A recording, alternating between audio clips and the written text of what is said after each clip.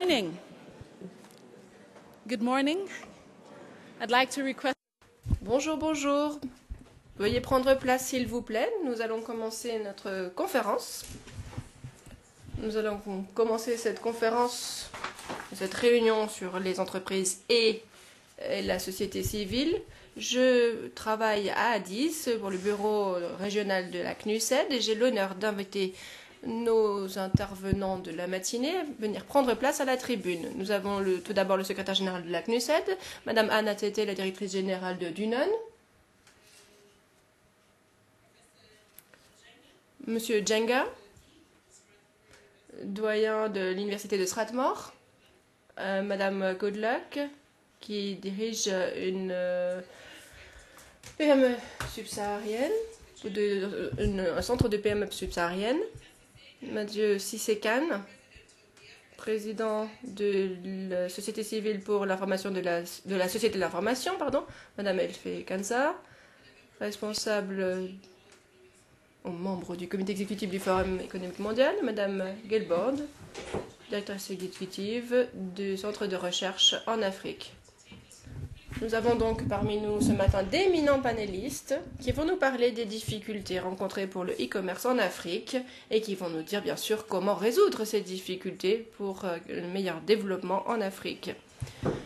Avant d'entrer dans les détails, j'aimerais inviter M. Kipto, Chris Kipto, secrétaire permanent pour le commerce, ministère du Commerce et de l'Industrie du Kenya, à faire quelques remarques liminaires. Vous avez la parole, monsieur. Euh, Dr Mukisa Kitui, euh, secrétaire. Monsieur Kitui, secrétaire général de la CNUSED, mesdames et messieurs les intervenants, mesdames et messieurs les membres de la société civile et des médias, des entreprises, mesdames et messieurs les participants, bonjour à tous et à toutes. Je m'appelle Chris Kepto, je suis le secrétaire principal responsable du département du commerce au sein du ministère de l'Industrie du commerce. Du Kenya, bien sûr. Je suis là pour vous souhaiter la bienvenue. Bienvenue à tous et à toutes au nom du, au nom du ministre qui devait nous rejoindre mais qui malheureusement a pris du retard ce matin. Il m'a demandé donc de vous saluer de vous souhaiter la bienvenue à tous et à toutes à cette euh, belle conférence. Je dois vous dire qu'au Kenya, nous avons beaucoup progressé, nous avons déployé beaucoup d'efforts pour promouvoir le e-commerce. Étant donné que nous allons en discuter pendant toute la semaine, je vous redis que je vous souhaite la bienvenue, que je vous souhaite plein succès dans vos travaux.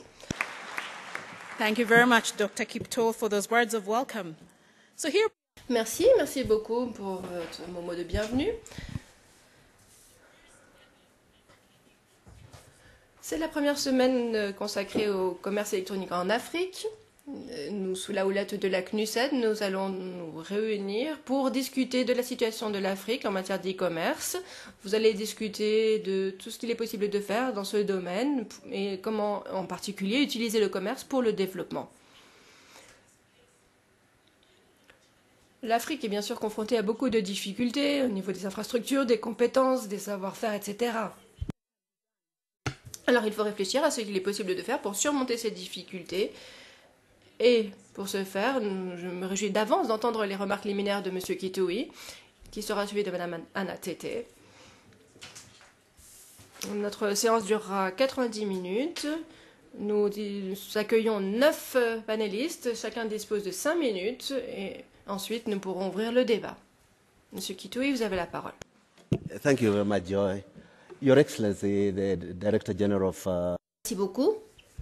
Excellence, Madame la Directrice Générale de l'ONU, du LUNON, l'ONU Nairobi, Madame Anatete, Mesdames et Messieurs les panélistes, Mesdames et Messieurs les délégués, Mesdames et les représentants de la société civile et du secteur gouvernemental, Mesdames et Messieurs les représentants d'entreprises, bienvenue à tous et à toutes. Et au nom de la CNUSED, au nom de la je vous souhaite la bienvenue à cette conférence vraiment très importante. C'est une première. Et il y a deux semaines, nous avons organisé la première réunion du comité de facilitation du commerce en Afrique c'est pourquoi je suis particulièrement fière aujourd'hui d'ouvrir la conférence, une première, comme je le disais, une première de en son genre, une conférence qui va nous permettre de discuter de toutes les, toutes les possibilités qui, que présente le e-commerce en Afrique, et qui va nous permettre également, bien sûr, de, par, de parler des défis à relever en la matière. Pour commencer, je tiens à remercier notre hôte, Madame Tété. Merci beaucoup pour votre collaboration, pour votre soutien. Merci beaucoup de nous avoir permis d'organiser cette conférence. Merci également aux pays hôtes. Merci beaucoup, Monsieur Kitoi. Merci d'avoir euh, facilité l'organisation de cette réunion. Merci également d'avoir apporté le soutien nécessaire pour l'organisation de cette conférence.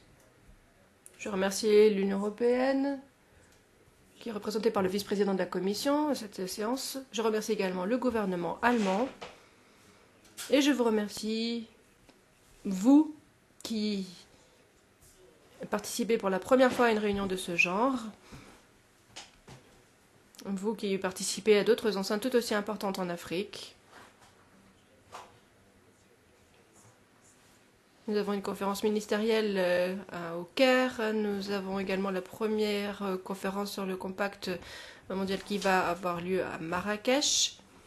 Et ces conférences vous montrent bien que l'on ne prend rien pour acquis et qu'il faut continuer à discuter et à travailler sur toutes ces questions.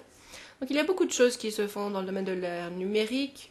Il y a beaucoup de choses qui se font autour du e-commerce. Nous savons que le commerce euh, repris, euh, a repris après la période de, dépression il y a une dizaine d'années. Certes, et aujourd'hui, le commerce connaît une hausse de 3% annuelle. Et le commerce, le e-commerce représente 12% de ces 3% d'augmentation. Donc il faut faire avec l'e-commerce. Et à Genève, au niveau de la CNUSED, nous avons vu qu'il y avait beaucoup de projets en matière d'e-commerce. Mais on a surtout parlé du fait que l'e-commerce va dépendre des règles de l'OMC. On a parlé également d'équilibre entre défis à relever et bénéfices à retirer. Je pourrais vous parler très longuement de toutes ces questions, mais étant donné que c'est la première conférence sur l'e-commerce qui a lieu en Afrique, je vais plutôt vous parler du dynamisme de l'économie numérique, je vais vous parler de la croissance exponentielle du e-commerce, et je vais vous parler de cela pour vous dire qu'il s'agit là de, tendances vraiment fondamentales dont il faut bénéficier.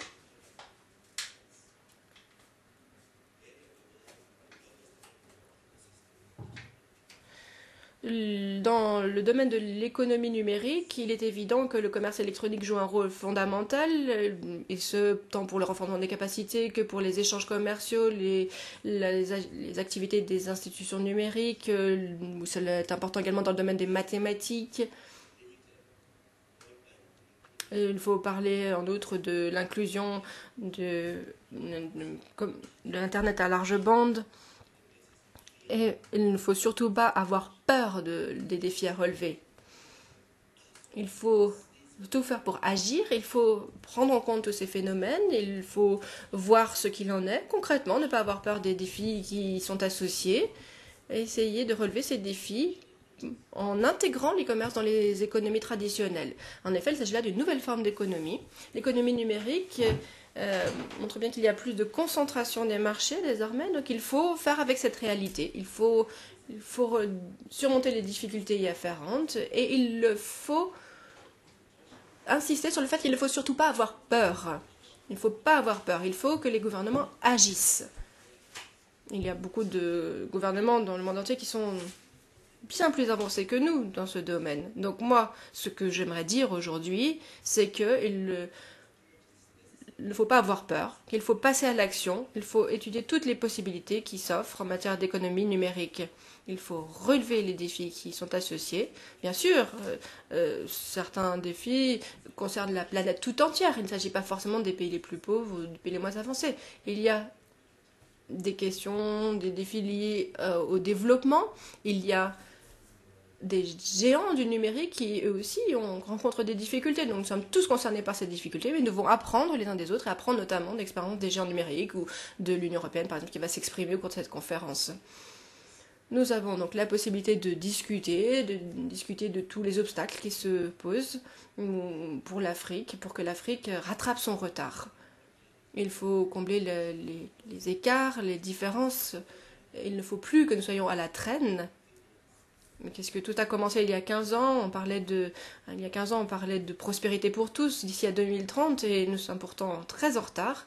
Nous devons voir ce que doivent faire les gouvernements pour assumer leurs responsabilités, pour rattraper ce retard euh, Il faut que les cadres juridiques soient hum, ajustés, adaptés. Il faut euh, que l'on mette en place les conditions nécessaires pour que la promesse de l'ère numérique soit tenue. Il y a des services qui peuvent être fournis par voie électronique, il faut en bénéficier. Il faut bénéficier de euh, la baisse des prix, euh, de tout ce qui concerne l'économie numérique. Par exemple, je, pense qu'en 1982, un gigabyte, euh, un stockage de gigabyte, coûtait 400 000 dollars. Aujourd'hui, ça coûte un centime. Un centime. C'est incroyable, n'est-ce pas? J'ai un exemple encore plus intéressant partager avec vous. Parfois,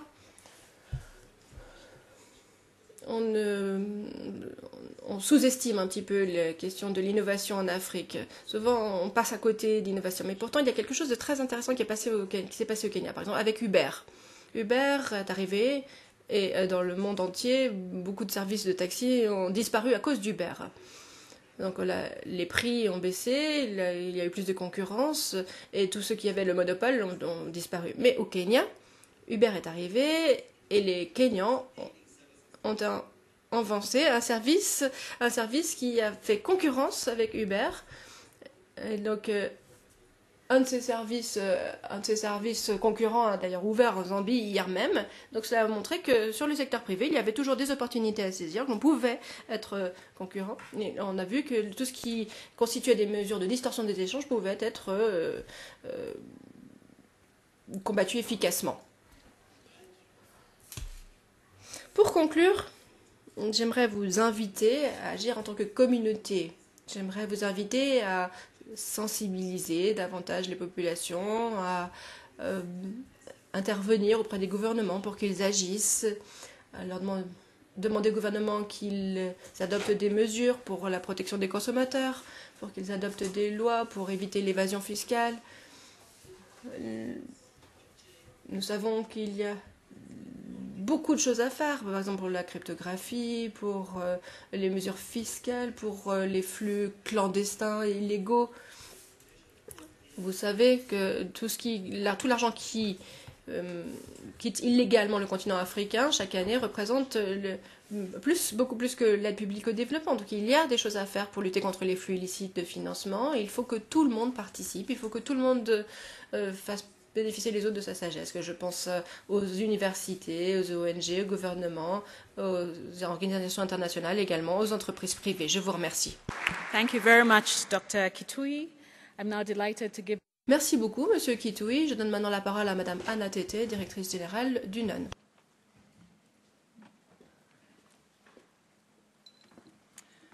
Thank you very much to my colleague, Dr. Kutui. Merci beaucoup, Monsieur Kitui, secrétaire général de la CNUSED, Mesdames et Messieurs les membres du panel, Mesdames et Messieurs, bienvenue au Kenya et bienvenue au Bureau des Nations Unies à Nairobi. Nous allons bien sûr faire tout notre possible pour que pendant, que pendant votre séjour, vous profitiez au maximum de cette conférence. Nous espérons que cette conférence sera une réussite. J'espère que tout ce qui a été fait jusqu'à présent vous a semblé satisfaisant. Je vais maintenant essayer d'ajouter quelques commentaires à ce qu'a dit M. Kitui. Vous savez que la numérisation des économies africaines se fait à différents niveaux et à différents rythmes. Nous avons l'université de TAF, d'autres universités qui ont mis au point un indice qui montre que quatre pays en Afrique sont plus près que les autres à bénéficier de ce phénomène international. Le Kenya, l'Afrique du Sud, le Nigeria et l'Égypte. Mais ce qui compte également, bien sûr, c'est que le reste du continent ne soit pas à la traîne et puisse rattraper son retard le plus rapidement possible, car nous avons là une occasion unique à saisir. Nous parlons d'une zone de libre-échange pour le continent. Nous savons qu'il y a eu déjà des négociations à ce sujet au niveau des gouvernements, mais le e-commerce. E-commerce, eh bien, ça va être un facteur fondamental pour tous les accords de libre-échange en Afrique. Nous allons discuter de ces questions cette semaine. Nous allons commencer à réfléchir à ce qu'il faut faire pour créer le cadre nécessaire pour que cette zone de libre-échange soit bel et bien créée. Je me réjouis beaucoup du fait que vous soyez si nombreux pour participer à cette conférence fondamentale. Nous devons donc réfléchir à la façon de combler le fossé numérique, nous devons réfléchir au développement économique, nous devons réfléchir à l'habitation des femmes, à la protection des consommateurs et à la protection des utilisateurs en ligne. Euh, toutes ces conversations, toutes ces discussions sont importantes. Il faut bien sûr faire en sorte que les systèmes euh, en ligne soient fiables. Il faut pour que les consommateurs puissent avoir confiance dans ces systèmes. Lorsque vous versez de l'argent par Internet, vous devez avoir confiance. Vous devez être certain que euh, si vous payez, vous obtiendrez quelque chose. Il faut que vous ayez confiance que les plateformes de commerce électronique soient fiables. Et donc, il important de discuter de toutes ces questions. Il faut que les différentes parties prenantes dialoguent pour que, que tout bénéficie de ces opportunités. Moi, personnellement, je viens du Ghana. J'ai été ministre du Commerce et de l'Industrie dans une autre vie. Et euh, je me souviens que nous avons réussi à surmonter des difficultés au niveau gouvernemental en faisant participer le secteur privé au maximum. Nous avons mis, au point, mis en place un système, un cadre législatif pour la téléphonie mobile, pour le e-commerce, euh, pour mettre en place les cadres euh, pertinents pour les, nous avons mis en place les cadres pertinents pour euh, ces transactions, ces paiements en ligne, pour la téléphonie en particulier. Nous avons constaté que la société civile, le secteur privé et tous ceux qui allaient utiliser ces plateformes mises en place devaient participer au dialogue sur leur conception. Nous avons compris qu'il fallait entendre les difficultés de chacun. Nous avons compris que le gouvernement doit être à l'écoute au niveau national, mais pas seulement, au niveau continental également. Parce que je vous rappelle que nous voulons mettre en place une zone de libre-échange au niveau du continent tout entier. Donc il faut aller au-delà des marchés nationaux, il faut voir les choses plus, en plus grand, il faut réfléchir à la prospérité euh, à laquelle nous aspirons pour l'Afrique tout entière. Imaginez ce que une telle zone de libre-échange peut apporter au continent. Imaginez le changement que cela va apporter. Nous devons euh, veiller à ce qu'il y ait suffisamment d'innovation, d'enthousiasme, d'élan, notamment dans le cadre de cette conférence, pour discuter concrètement de toutes ces questions. Nous sommes vraiment très intéressés d'entendre vos points de vue. Et en tant que directrice générale de l'UNON, je suis ravie d'appuyer la CNUSET dans ses activités. Je vous souhaite une conférence très réussie et je me réjouis par avance d'entendre vos questions. Je vous remercie. Thank you very much, Ms. Hannah. Merci beaucoup, Madame Tété. Merci d'avoir euh, replacé les choses dans leur contexte. Nous allons maintenant entendre euh, les entreprises, les sociétés civiles. Nous allons entendre parler des promesses, des retombées positives, des choses à faire. Nous allons parler des femmes, des réglementations, des politiques. Et pour commencer, je vais donner la parole à M. Alikin Wale, qui euh, dirige le GSMA pour le Sub-Sahara. Euh, vous allez nous parler de vos recherches qui ont montré que 270 millions d'Africains ont désormais accès à Internet par le biais de leur téléphone. Et vous recherches ont également porté sur les, paiements par le biais des téléphones, que ce soit pour l'agriculture, euh, l'eau, l'assainissement, euh, tout autre domaine. À chaque fois, on se rend compte que le e-commerce est présent que le e-commerce est très très prometteur. C'est bientôt ce que c'est maintenant ce que vous allez nous dire en cinq minutes. It's a real pleasure and honor to speak to Merci beaucoup, merci. Je suis vraiment ravie de vous parler de toutes ces questions. Euh, tout ce que vient de dire euh, Joy était vraiment très intéressant. Tout d'abord, euh, nous devons parler d'Internet et puis nous allons parler des abonnements téléphoniques. Et pour euh, ce qui est de la région subsaharienne, nous constatons, nous constatons qu'il y a de plus en plus d'abonnements téléphoniques et qu'il y a de plus en plus d'abonnements également Internet. Bon, lorsqu'on ventile un peu les chiffres, on voit que la réalité n'est peut-être pas si encourageante que cela pour la région subsaharienne, mais au total, Si l'on compare le nombre total d'utilisateurs euh, de téléphonie mobile et le nombre total d'en- d'abonnements téléphoniques, il y a euh, des différences qui ne sont pas vraiment très positives. Donc je vais vous parler un petit peu de tout cela. Je vais vous dire ce qui est positif, ce qui n'est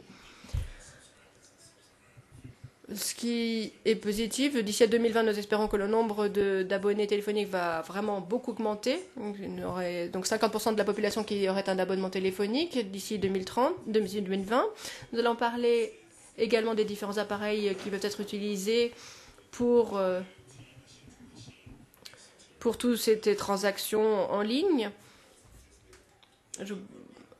Pour ce qui est des connexions euh, large bande, euh, nous savons qu'il y aura de plus en plus de, connexions de ce genre. Il y aura de plus en plus, donc une meilleure couverture, plus en plus de gens qui auront accès à Internet.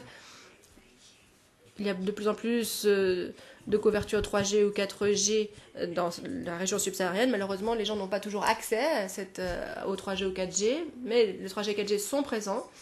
Et la population subsaharienne euh, euh, donc, a de plus en plus accès à, Internet, même si d'ici à 2025, il y aura encore la majorité de la population qui n'aura pas accès à Internet. Donc, je vais vous parler des opportunités du e-commerce euh, dans cette région, euh, car nous sommes bien là pour parler d'opportunités. L'opportunité principale, c'est d'habiliter la population d'Afrique, euh, habiliter les Africains à aller en ligne et à intervenir dans le domaine de l'e-commerce.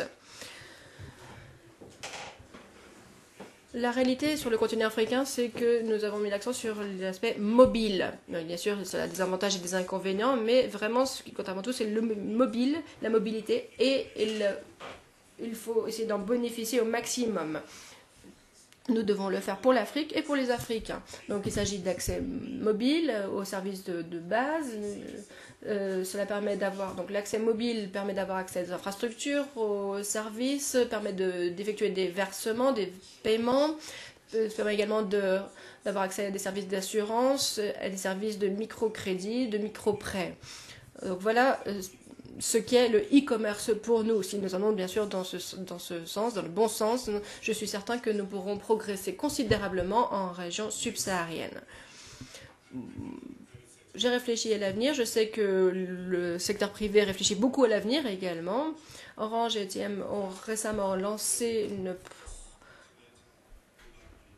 une plateforme, la première plateforme de paiement par, euh, paiement par téléphone, de paiement mobile. Il s'agit là d'une opportunité, une occasion à saisir pour renforcer les capacités des Africains. Mawali, c'est le nom de cette plateforme qui va être accessible à tous, à tous. Euh, de ce, sera, ce sera une plateforme ouverte dans tous les domaines, utilisable dans tous les domaines. Donc, une plateforme de paiement euh, qui fera que les versements mobiles ne dépendront pas forcément de 3G ou du 4G. Donc beaucoup de personnes qui n'ont pas encore accès au 3G ou au 4G, c'est-à-dire la majeure partie des personnes en Afrique subsaharienne, pourront quand même utiliser cette plateforme et pourront quand même effectuer des versements hum, en ligne de cette façon. Bien sûr, il y a encore beaucoup à faire dans ce domaine. Euh, nous travaillons avec nos partenaires, euh, nos partenaires clés pour euh, concrétiser les choses. Les gouvernements, bien sûr, doivent considérer le e-commerce comme une zone de croissance, un domaine de croissance potentielle, et aller dans ce sens plutôt que freiner, freiner le- ce développement. Et il faut bien sûr que les cadres politiques nécessaires soient mis en place pour favoriser la croissance du e-commerce. Il faut investir dans l'e-commerce et il faut il faudra pouvoir également en bénéficier des recettes tirées de, du commerce. Il faudra penser à l'imposition, aux taxes liées au e-commerce. Nous savons, nous avons d'ores et déjà constaté que les services de paiement mobile fonctionnaient bien, par exemple au Kenya, dans d'autres pays, mais nous n'avons pas toujours euh, connaissance des chiffres. Je dois vous dire qu'il y a deux semaines, j'étais au Nigeria, et au Nigeria, euh, une plateforme de service, une licence de service de paiement en ligne a été récemment mise en place. Donc, euh, ce pays va renforcer ses capacités dans ce domaine. Cela sera positif pour le continent tout entier, puisque l'on voit que le nombre d'abonnements téléphoniques a beaucoup augmenté euh, sur tout le continent. Nous savons que cela va avoir un impact positif sur l'Angola, le Nigeria, etc. Donc euh, tout cela aura un effet positif, permettra de progresser sur le continent tout entier. Nous avons constaté également que les gouvernements avaient tendance à imposer des taxes sur des choses, sur des, dans des domaines lucratifs. Et nous avons vu que en région subsaharienne en particulier, il y avait des taxes qui étaient imposées de façon vraiment très agressive sur tous sur ces services de paiement en ligne. Et bien sûr que les gouvernements pourront en tirer des revenus, mais cela risque également d'avoir un effet négatif. Cela risque de, de repousser un petit peu les gens, de, les décourager. Ils n'auront pas envie de transférer de l'argent s'ils sont taxés au passage par les gouvernements. Et ils auront certainement recours aux moyens traditionnels pour transférer leur argent et pour éviter d'être taxés davantage. Mais dans d'autres pays, dans certains pays, en Afrique subsaharienne, on a décidé d'imposer des taxes sur l'accès à Internet. Et, et, pour moi, pour moi vraiment, c'est c'est l'une des plus grosses erreurs que l'on ait pu faire. C'était vraiment, cela nuit considérablement, cela ruine tout. Cela gâche tout en fait. Je ne comprends pas pourquoi l'on ferait ça. Je ne comprends vraiment pas pourquoi l'on déciderait d'imposer ces taxes. Euh, il faut au contraire se débarrasser des taxes. Il ne faut surtout pas imposer ces taxes pour que le e-commerce puisse euh, fleurir, pour que le e-commerce devienne plus inclusif, pour qu'il soit euh, transnational et pour qu'il euh, pour qu'il permette à beaucoup de nos populations d'entrer dans l'ère numérique. Je vous remercie. Merci, merci beaucoup, Monsieur Goodluck. Merci. J'invite maintenant euh, l'intervenant suivant de, de venir nous parler des stratégies de croissance économique en Afrique, nous parler de l'industrialisation en Afrique. Vous allez nous parler de l'impact du e-commerce qui doit passer par des plateformes, des plateformes d'échange. Madame NTT nous a parlé de ce qu'il fallait mettre en place également pour la zone de libre-échange sur le continent africain. Donc vous allez nous parler de la croissance et de l'industrialisation et nous parler de, euh, des retombées positives qui peuvent être donc bénéfiques pour le continent. Vous disposez de cinq minutes. Uh. Merci beaucoup. Merci beaucoup au président de, de la CNUSED et de l'Union Nairobi pour leurs remarques. Juste pour donner quelques éléments de contexte. Le forum de la société civile et la, la semaine du e-commerce ont lieu à Genève. Et un appel important a été lancé à la participation du secteur privé. Et aujourd'hui, nous faisions la queue pour nous enregistrer pour cette conférence. Et il était très intéressant de relever que la file d'attente pour le secteur privé était la plus longue. Donc attendons de voir ce qu'il en ressortira. En ce qui concerne le contexte de collaboration entre la société civile et le monde des affaires, je voudrais simplement donc évoquer le contexte du e-commerce en Afrique et je vais ensuite essayer de répondre à votre question. Le Forum pour l'e-commerce en Afrique j'ai fait partie du conseil d'administration. Un certain nombre de membres de ce conseil d'administration sont également présents ici. Les chaînes de valeur sont notamment représentées donc ici en Afrique. Cela inclut des discussions qui ont lieu sur l'ensemble de continents et la nécessité de faire résonner la voix de l'Afrique au niveau mondial. Le commerce numérique est un facilitateur pour le développement du commerce en Afrique.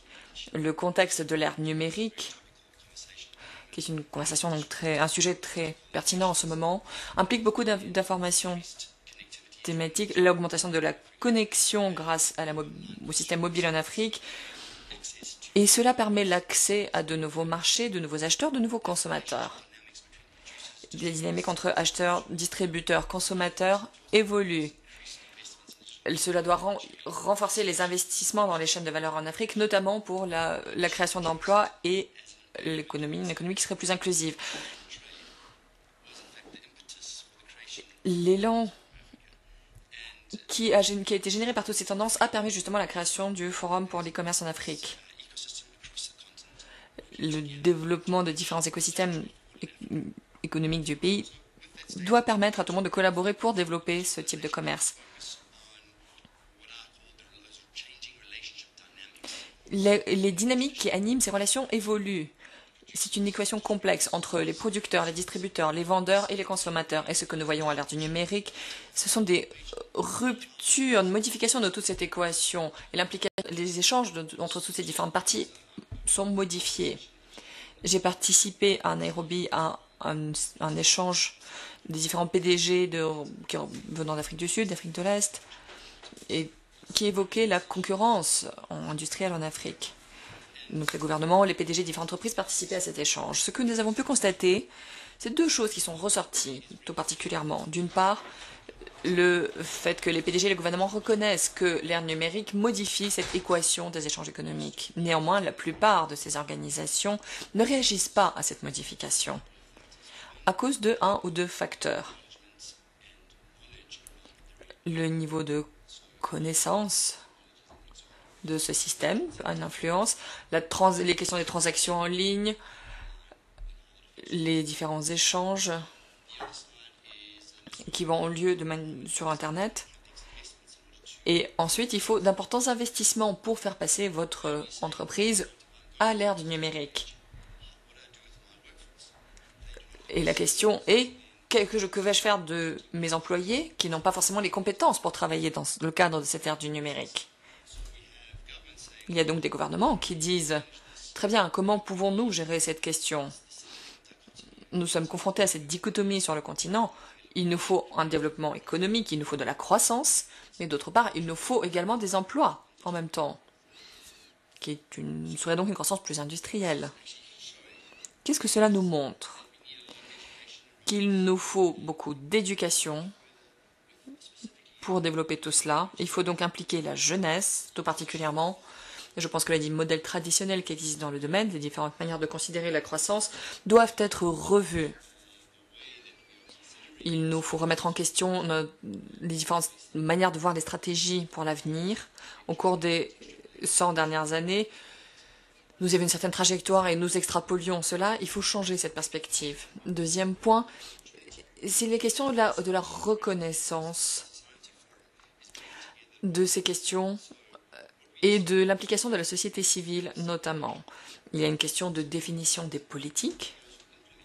Il y a ceux qui mettent en œuvre les politiques, qui créent les instruments qui permettent de mettre ces politiques en œuvre. Et il y a une faille, souvent, il y a un manque de communication entre ces acteurs. Parfois, les bons outils ne sont pas disponibles pour mettre en œuvre les politiques. Et cela implique donc également d'impliquer le monde des affaires. Le monde des affaires n'était pas suffisamment impliqué, d'une part, dans la définition des politiques, d'autre part, dans la création et l'usage des outils permettant de mettre en œuvre cette politique. Et donc, l'effet de levier qui, qui aurait pu être très utile pour le monde des affaires n'était pas présent.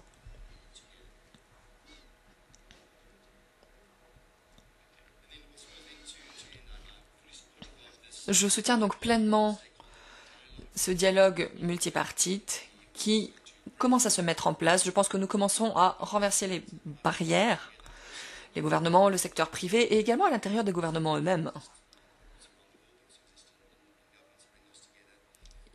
Toutes ces personnes se rassemblent pas peu et commencent à échanger. Je suis d'accord avec le secrétaire général. Il nous faut nous impliquer, il nous faut nous emparer de ces changements pour agir il y a une citation que j'aime beaucoup qui résume bien la situation et ce qui se passe dans le secteur. Il faut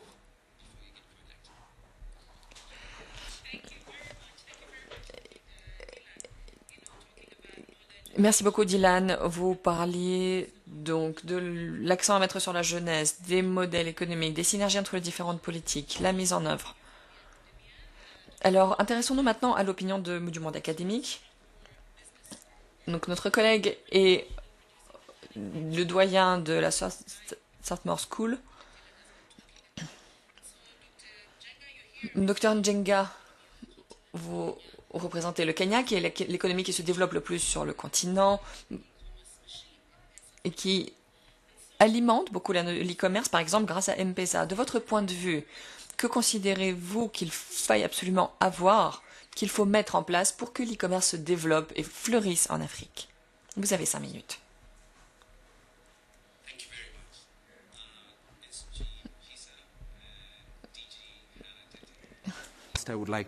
Very Bon, bonjour, merci chers collègues. Merci beaucoup de nos, tout d'abord de nous ouvrir ici cette plateforme d'échange pour pouvoir parler des commerces en Afrique. La première chose qui me vient à l'esprit est qu'on ne peut pas développer le commerce en Afrique maintenant en utilisant l'ancien modèle de développement des infrastructures.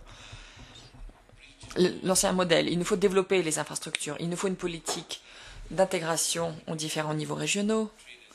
Vous ne pouvez pas développer le commerce en Afrique en considérant que le consortium panafricain des nations, l'Union africaine, définira des politiques et que les différents pays les appliqueront et que nous pourrons avancer ainsi. Supprimons tous ces éléments. Laissons les gens faire du commerce sur téléphone mobile, échanger par téléphone mobile. Dans ce cas, nous nous demandons que faire de toutes ces institutions qui encadraient le commerce jusque-là. La CNUSED, l'Organisation mondiale du commerce, que font ces institutions? Ce que j'en pense, et que ce que montre la recherche, c'est que ces organisations doivent suivre les opportunités créées par la technologie qui sont à disposition du secteur privé et pour cette nouvelle génération du commerce. L'un des points fondamentaux ici, c'est l'information. Je pense que l'un des domaines les plus importants d'information, c'est les politiques et le gouvernement, les domaines stratégiques. Comment créer des centres de traitement de données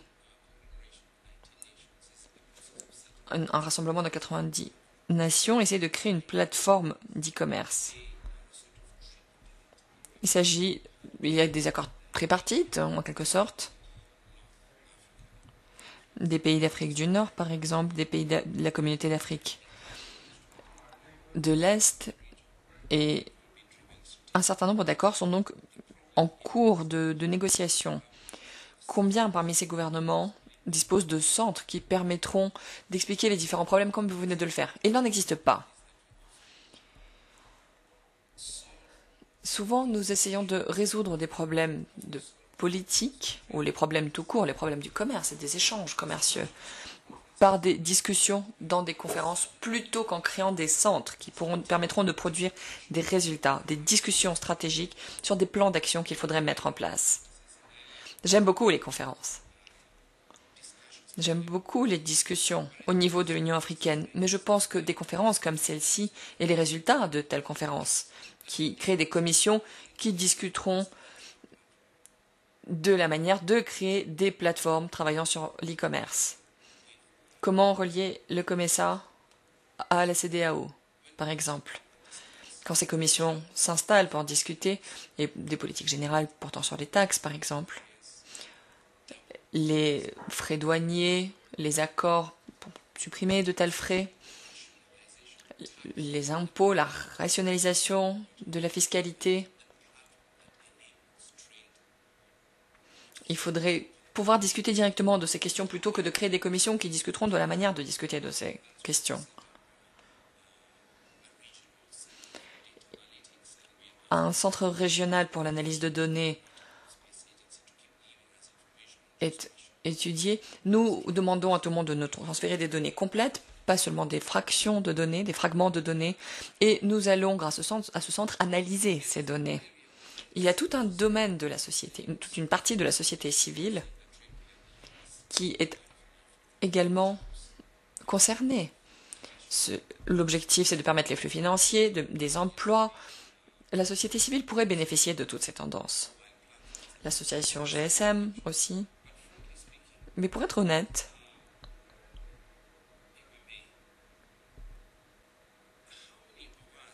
combien d'entre nous comprennent, combien de nos gouvernements comprennent la notion de chaîne de blocs?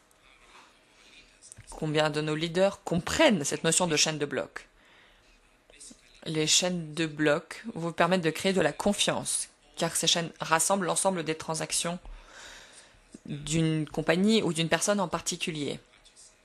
Que ce soit des terres, des questions d'impôts, de logement, d'impôts donc, vous n'avez pas besoin de voir, d'avoir en face la personne avec qui vous échangez. Le système des chaînes de blocs permet de construire un système fiduciaire d'échange financier, permet d'identifier les lieux ensuite où l'on peut acheter des choses grâce à ce système.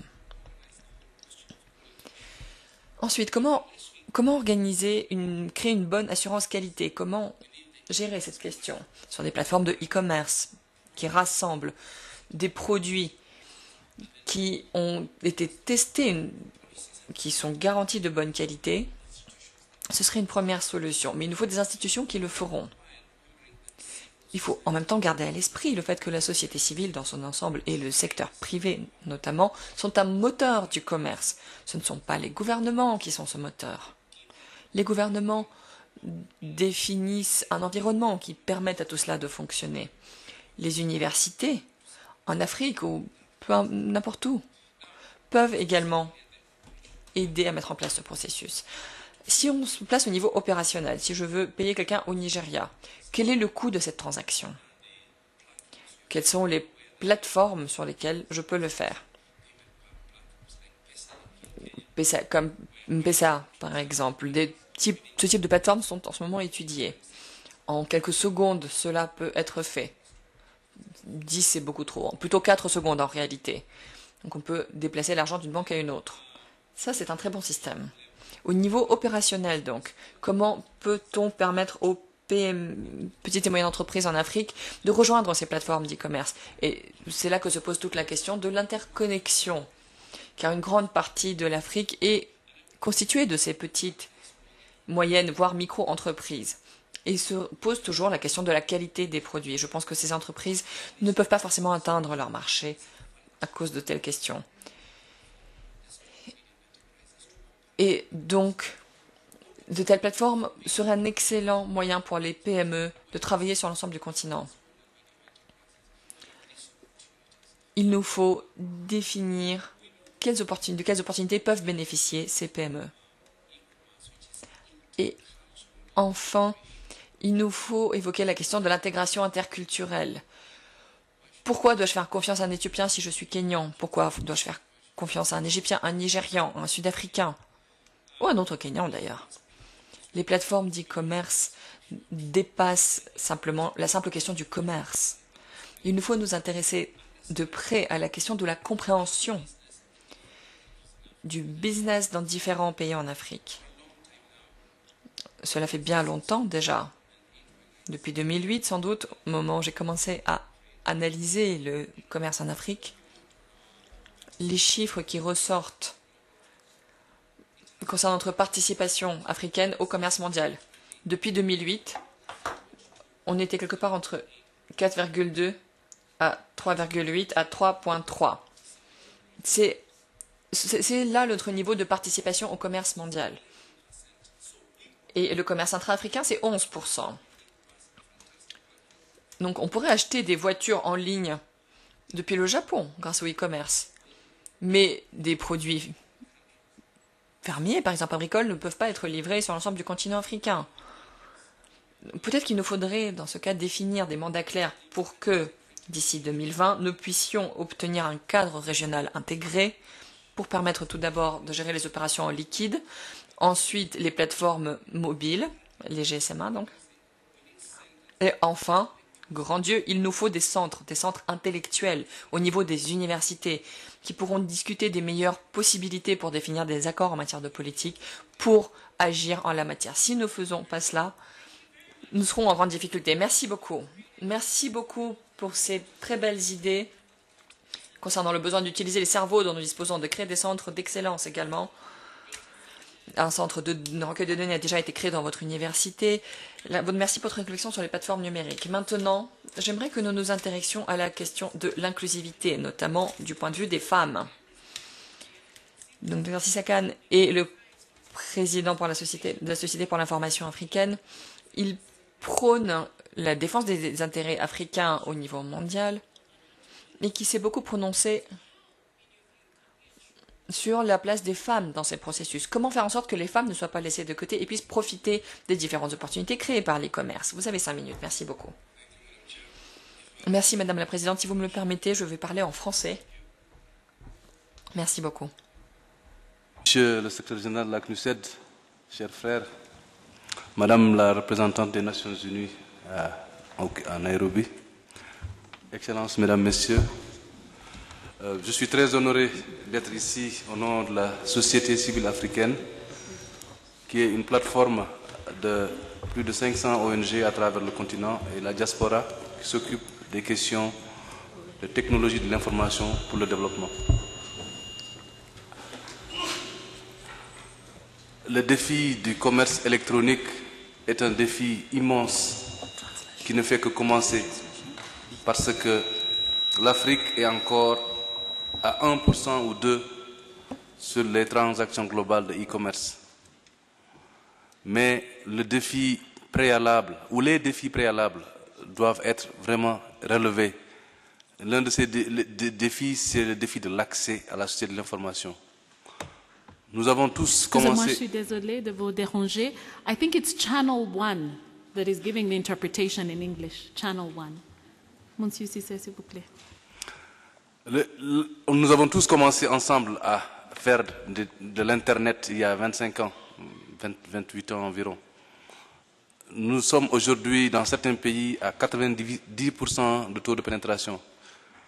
Le pourcentage en Afrique est en average, en, en moyenne, de 30%, avec des pays qui, qui en sont à 3% de connexion Internet. Donc c'est un lourd handicap pour accéder au e-commerce. Et ça, concerne les hommes et les femmes. L'autre défi, c'est le défi de la, euh, de, du coût qui est un peu corrélé à l'accès. Les coûts sont des fois 20 fois plus chers dans certains pays qu'ailleurs. Le défi aussi de la localisation et des cultures locales, des besoins locaux, est un défi immense parce que les sites web, les transactions, les emails, tout, tout, tout, ou pratiquement tout, se fait via euh, l'étranger. Donc nous, nous appelons pour un, une plus grande localisation du phénomène Internet et des technologies d'information en Afrique. Nous savons tous que les femmes sont le moteur du développement dans beaucoup de zones rurales. Je ne parle pas simplement des, zones urbaines, mais des zones rurales. Et des pays comme le Kenya ont développé, ont montré la bonne voie dans le e-commerce, qui ont exploré le MPSA, qui ont exploré les solutions euh, par rapport au transport. Et nous savons tous que les femmes, jouent un rôle important dans ce segment des technologies de l'information. Mais nous, nous pensons que le plus gros défi, c'est vraiment de, voir le problème comme un problème global d'accès à la société de l'information. Nous sommes très contents que, le, le, mobile se développe à 800% dans certains pays. Mais le mobile, c'est aussi de l'économie extravertie. Ça enrichit les autres. Ceux qui vendent les données, ceux qui vendent l'information, ceux qui vendent le, réseau.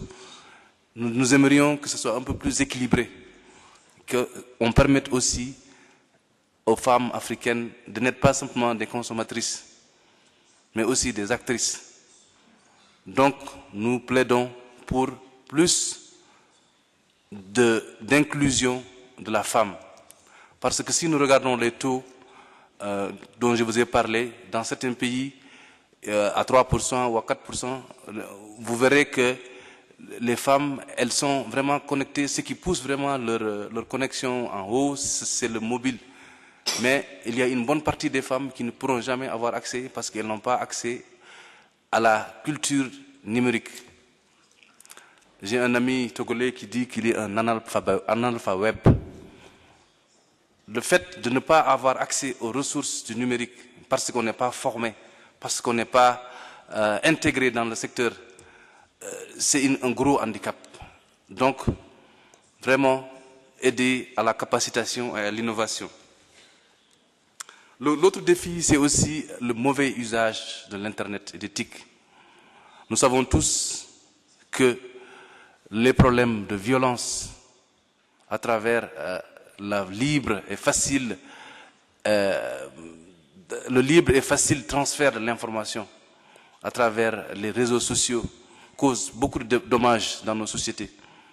Donc, nous ne voulons pas d'un Internet gadget ou d'un Internet euh, qui permet juste d'échanger des choses pour s'amuser, mais nous voulons d'un Internet utile qui crée de l'emploi. Et nous saluons vraiment la CNUSED d'avoir initié ce premier débat. C'est une excellente initiative et nous, nous avons accouru, accouru vers la CNUSED pour dire que nous voulons les accompagner. Parce que c'est comme ça que nous créons le débat, c'est comme ça que nous éveillons nos populations sur les grands défis. D'un autre côté, l'Afrique, elle bouge. Les jeunes, ils bougent.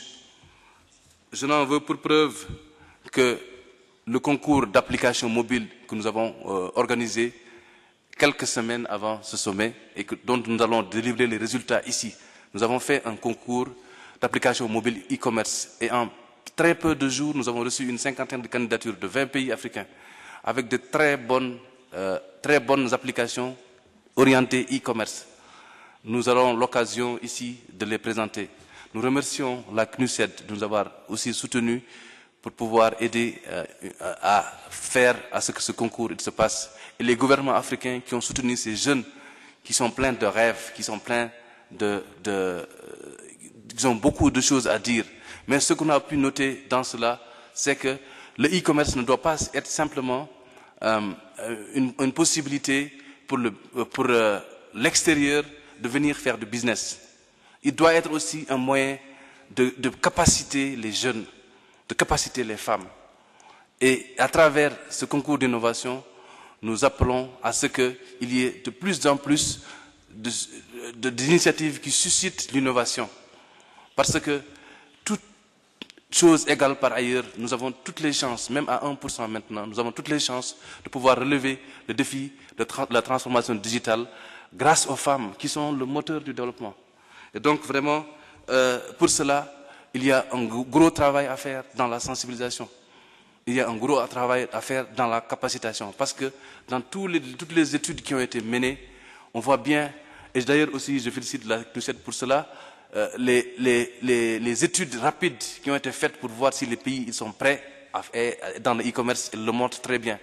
La formation, la capacitation est un des gros défis. Et donc vraiment, euh, nous félicitons euh, les organisateurs et tous les sponsors et tous les pays qui soutiennent cette initiative et cette innovation.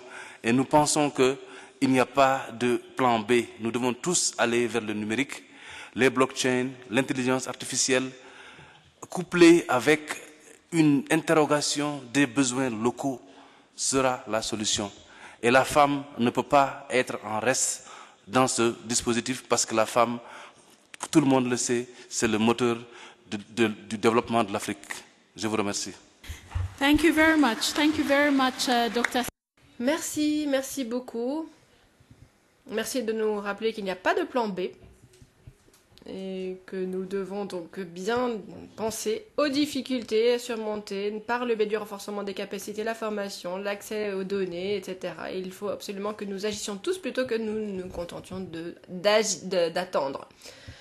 Euh, nous allons maintenant donner la parole à Ensi Kanza, responsable de la division du Forum économique mondial.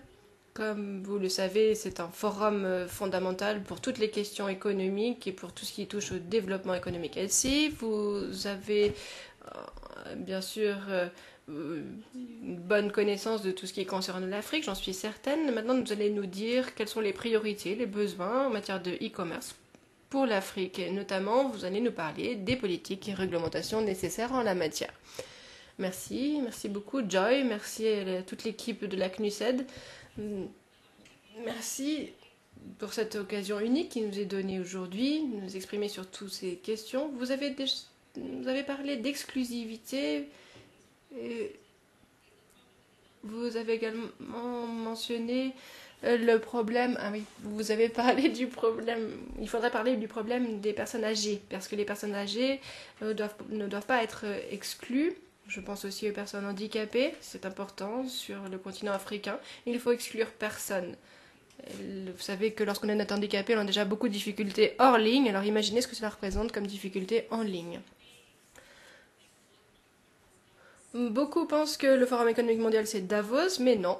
Davos ce n'est qu'une euh, partie du Forum économique mondial. Nous avons des, une division sur le les partenariats public-privé. Nous avons près de 700 membres du personnel qui travaillent sur de nombreux domaines différents. Nous essayons de réfléchir aux euh, difficultés qui nécessitent des solutions multiparties prenantes. Nous avons 14 initiatives systémiques, notamment une sur l'investissement et l'autre sur l'avenir de des sociétés basées sur l'économie numérique. Nous savons qu'il y a de plus en plus de liens avec notre fondation de San Francisco pour, toutes les concerne, pour tout ce qui concerne le développement, les cadres réglementaires et les politiques à adopter pour favoriser l'expansion de l'utilisation de ces technologies. Nous avons une initiative pour le e-commerce, une plateforme pour le commerce mondial et nous collaborons sur, avec la plateforme donc pour le commerce international et l'OMC en la matière. Nous réfléchissons aux pratiques qui, sont, qui peuvent être utilisées pour appuyer les petites entreprises, pour appuyer le commerce, les commerces. Nous avons organisé des dialogues dans différents pays, notamment le Bahreïn, le Vietnam.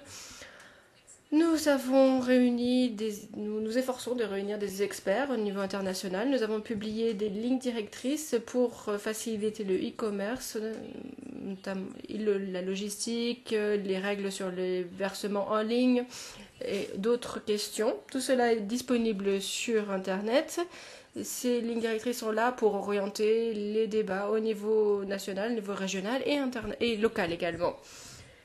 Nous avons travaillé avec l'Alliance du Pacifique, avec la Banque interaméricaine de développement pour. Nous avons travaillé également avec la Banque de développement en Asie.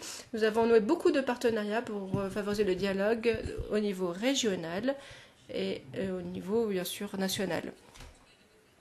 Cette semaine, le forum et la CNUSED vont lancer euh, une communauté multipartite pour le e-commerce en Afrique. Cela nous permettre de renforcer les partenariats en la matière. Nous espérons donc pouvoir nous appuyer sur ce mécanisme officiel qui nous permettra de poursuivre le dialogue après, à l'issue de cette conférence. Le système pour le commerce international est là pour euh, favoriser la mise en place d'initiatives transfrontières en matière de e-commerce. Nous nous appuyons bien sûr sur les meilleures pratiques observées au niveau international et nous savons qu'au niveau politique, il faut prendre en compte différents points tels que la facilitation des échanges.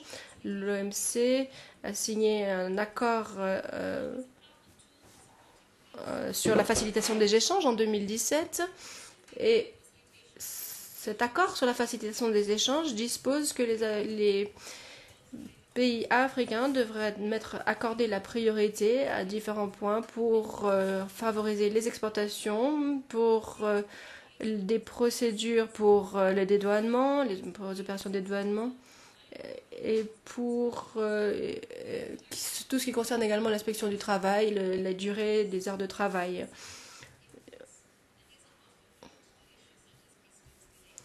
Nous savons qu'il y a souvent des retards en douane et qu'il y a des procédures à appliquer pour faciliter les choses, faciliter notamment le dédouanement. Et il y a également des contrats qui sont signés en ligne.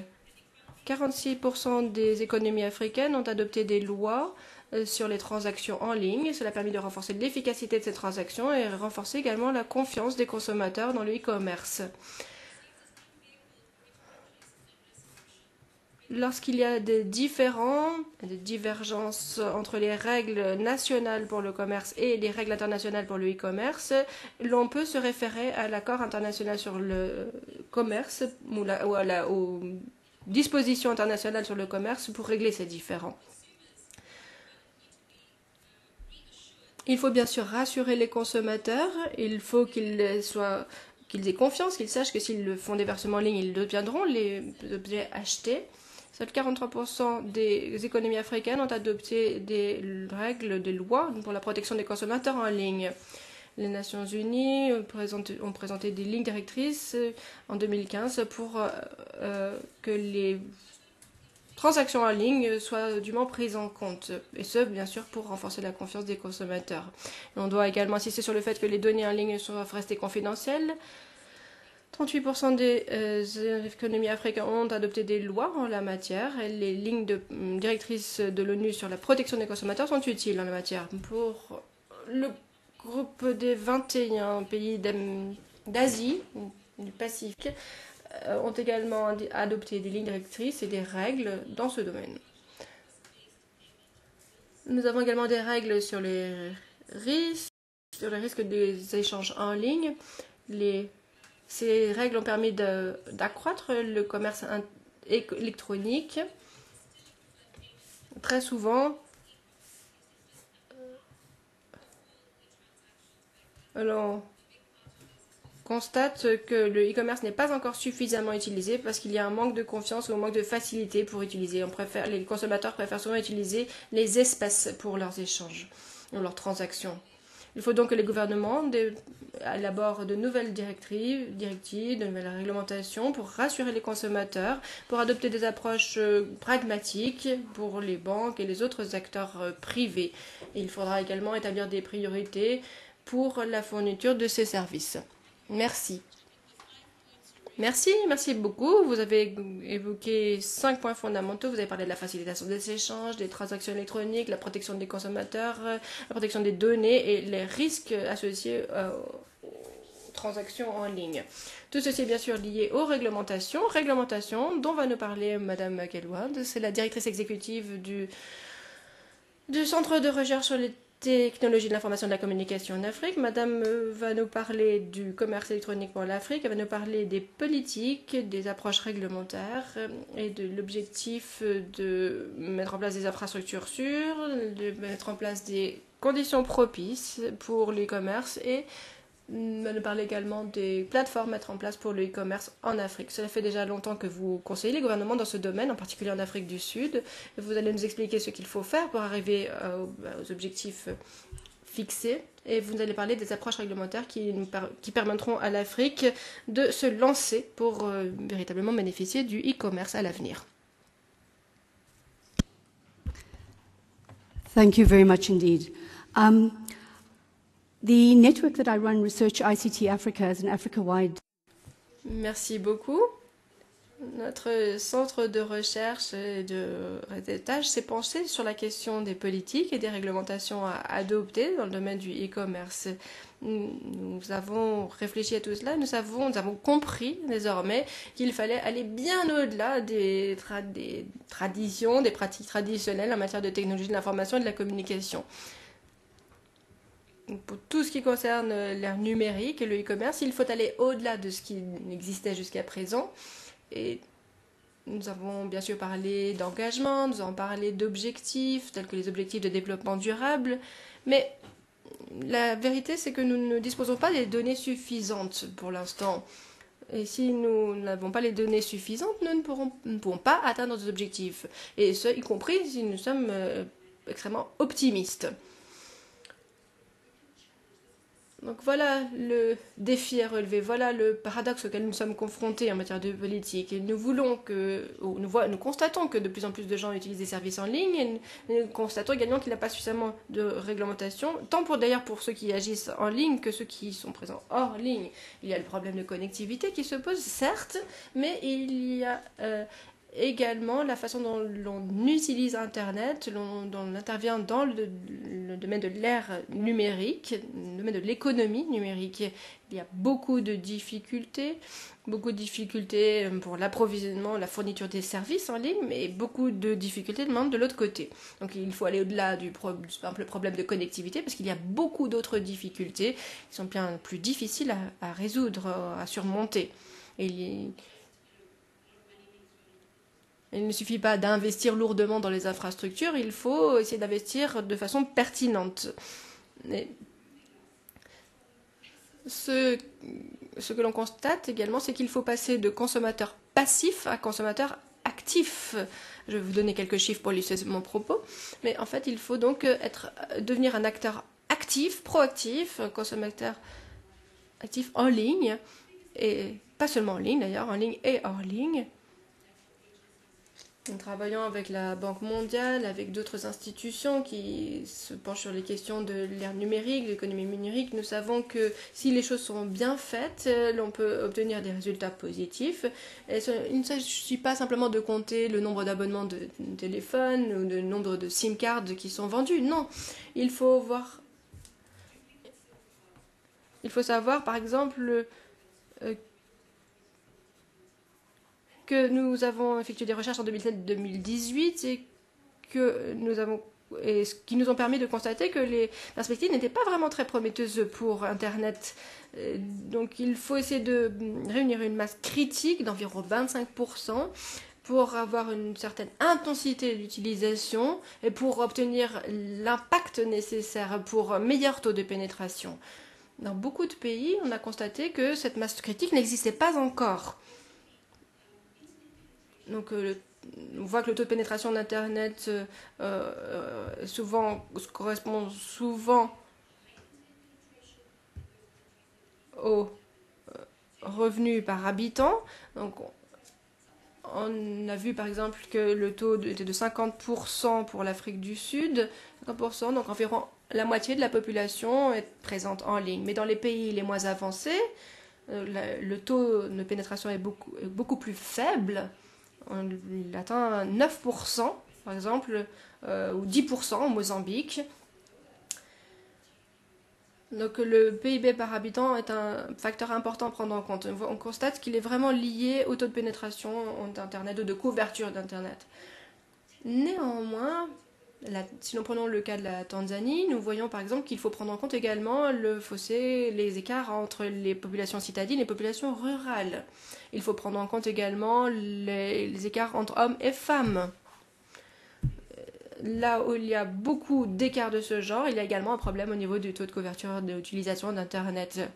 Les disparités urbaines, rurales ou hommes-femmes sont à prendre en compte pour étudier la question du taux de pénétration. Et bien sûr, tout cela nous renvoie au problème classique qu'est le problème de la pauvreté. Il faut donc essayer d'aller plus loin que cela.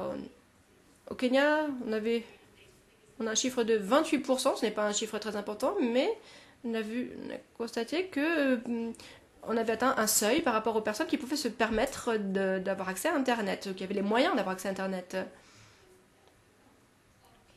Les personnes qui gagnent environ 700 dollars par mois euh, peuvent se permettre d'avoir accès à Internet, puisqu'on a constaté en Afrique du Sud, mais également au Kenya. Donc il y a un seuil de revenus mensuels qui, est vraiment lié à l'accès à Internet. C'est un défi donc véritablement politique qu'il faut relever, puisque le taux de pauvreté a une incidence considérable sur le taux de pénétration d'Internet. Nous savons que dans tous les pays les plus pauvres, les personnes les plus pauvres n'ont pas, pas les moyens d'avoir accès à Internet.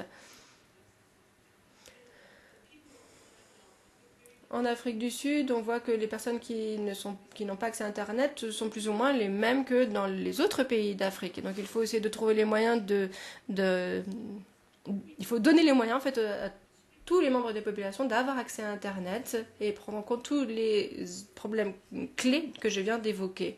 Et là, je ne parle bien sûr que de la fourniture d'Internet ou de l'aspect la, approvisionnement. Mais nous avons parlé de la couverture 3G ou Internet à large bande. Nous avons vu que cela pouvait atteindre 80-90% dans certains pays. Donc les gens ont, reçoivent le signal, enfin les, appareils mobiles peuvent recevoir le signal, mais les gens n'ont pas les moyens d'y avoir accès. Donc bien sûr, c'est la question qui se pose, c'est la question des coûts. Coûts des appareils mobiles. Très souvent, les gens n'ont pas, les moyens de s'acheter un appareil mobile ou un, appareil qui leur permettra de se connecter à Internet. Donc, il, on ne parle pas ici de smartphone ou, de téléphone très sophistiqué, non. On parle de, de, on parle de, par exemple, de réduire les taxes au niveau le plus bas pour, les, pour tous les appareils mobiles. On parle de de rendre les appareils mobiles plus accessibles, parce que bien sûr, on peut le- prélever des taxes ou prévoir des taxes. Il ne s'agit là que de recettes à court terme. Non, il faut essayer de voir plus à un peu plus à long terme, voir ce qui va se passer au niveau du continent, voir euh, quelle stratégie l'on peut utiliser et appliquer pour euh, euh, que les appareils mobiles deviennent moins chers, peuvent être utilisés par les, les populations, par les- l'ensemble des populations, par exemple en passant par les textos, les WhatsApp. euh, il ne faut pas pénaliser les plus pauvres parce que s'ils n'ont pas accès à ces moyens-là, ils vont bien sûr rester en dehors de l'ère numérique.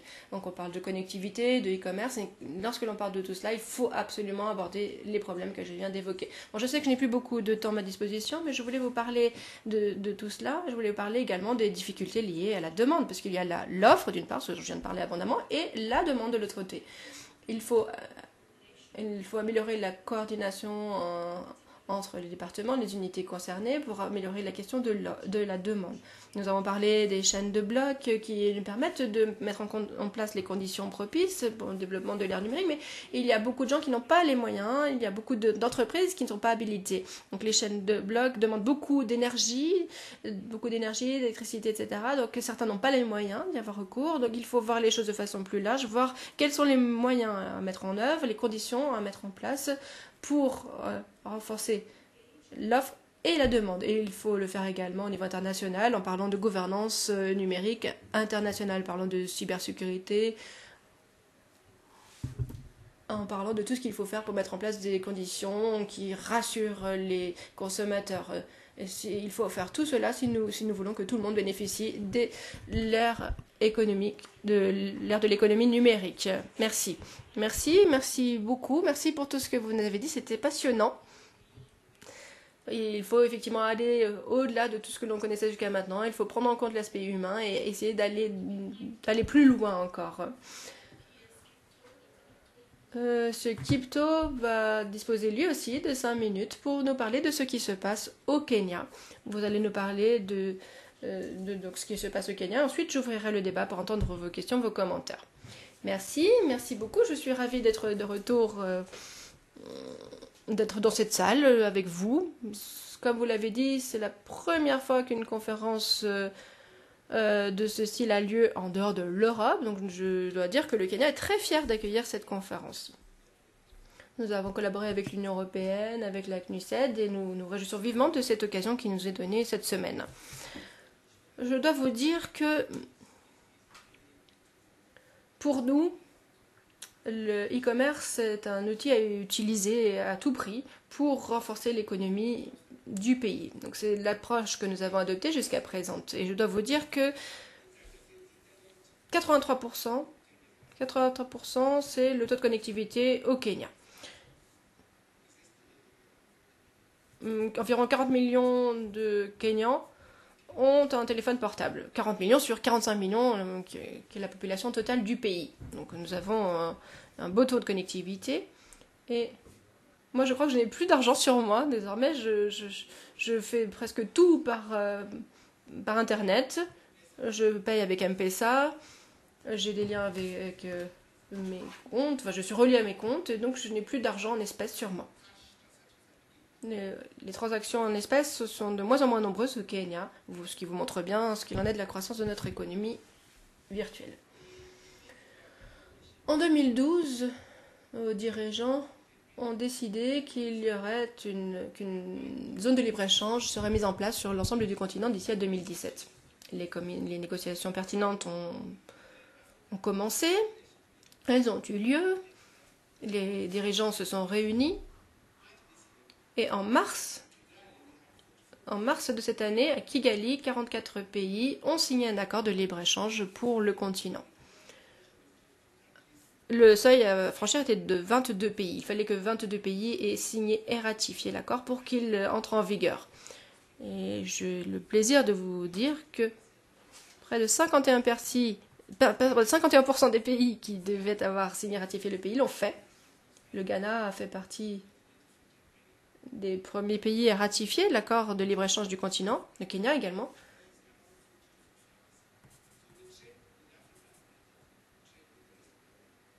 Le commerce en Afrique représente 40 à 45 pour je parle des échanges internationaux, échanges sur le continent. Mais pour ce qui est des échanges à l'international, nous ne représentons que 10% des parts mondiales du commerce.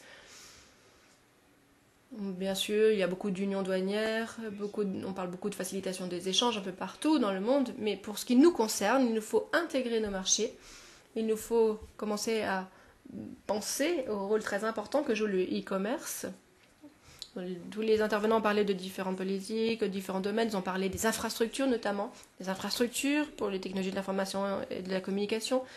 Où est-ce que nous en sommes en matière d'infrastructure nous, nous, avons plutôt progressé au Kenya dans ce domaine, mais il faut voir ce qu'il y en est dans les autres pays africains. Il faut que tous les pays africains puissent bénéficier du e-commerce et puissent donc s'appuyer sur les bonnes structures, les infrastructures.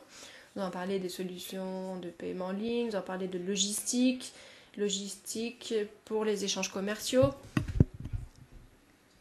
Nous avons signé une charte pour le port de Mombasa. Il s'agit de différentes institutions, agences qui ont noué une sorte de coalition ou partenariat. Je, je préside cette coalition. Toutes les institutions de facilitation, toutes les agences concernées ont créé des portails en ligne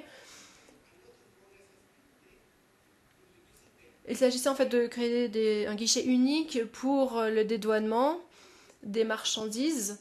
Donc on a réduit considérablement le temps de dédouanement au port de Mombasa. Maintenant, on a besoin de 4 ou 5 jours euh, pour qu'un camion passe aille de Mombasa à Kigali. Auparavant, cela prenait beaucoup plus de temps. Donc là, les systèmes ont été numérisés et nous avons mis en place ce guichet, unique, qui nous a permis de supprimer les chevauchements, les doublons, de gagner beaucoup de temps. Nous avons également travaillé sur la question des infrastructures pour que les infrastructures en place soient plus efficaces. Je parle des infrastructures du port de Mombasa,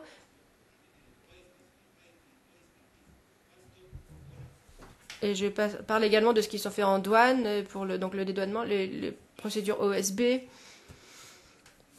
Nous avons là aussi beaucoup progressé et nous avons essayé de combler les lacunes politiques. Nous avons, dans nos politiques commerciales, insisté lourdement sur le e-commerce. Nous avons collaboré avec différents ministères et nous avons l'intention de mettre en place de nouvelles lignes directrices pour euh, la gestion du e-commerce.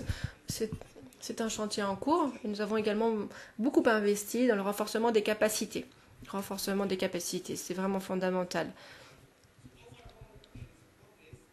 Donc, dans l'ensemble, nous avons bien progressé au Kenya. Nous l'avons fait euh, également dans le contexte de l'Afrique de l'Est. Si nous pouvons tous bénéficier du e-commerce, nous bénéficierons indubitablement de la zone de libre-échange continentale.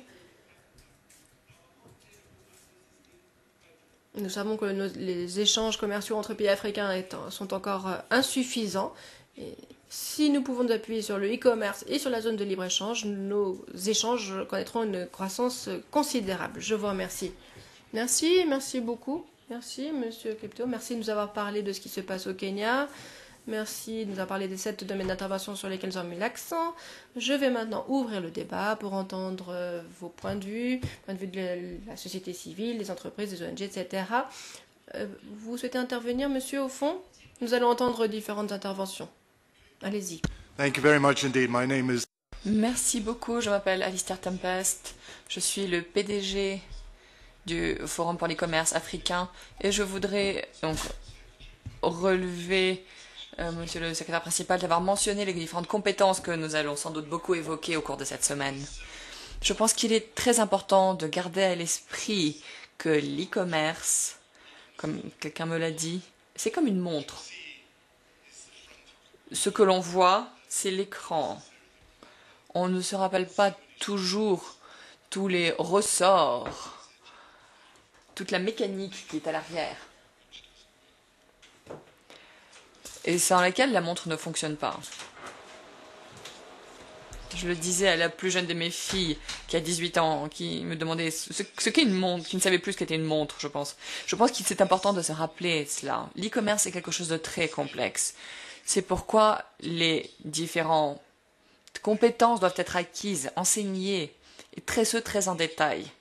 Il nous faut garder cela à l'esprit.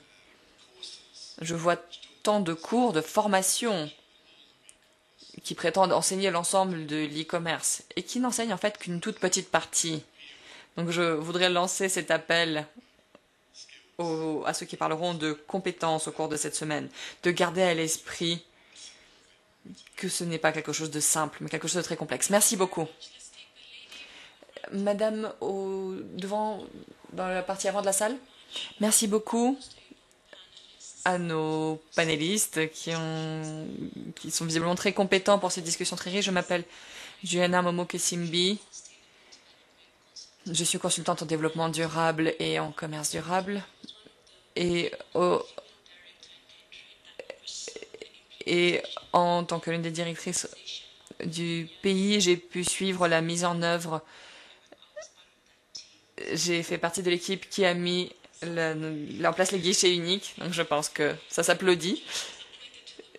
J'ai été nommée au conseil quand j'avais 35 ans. J'aurais trois questions.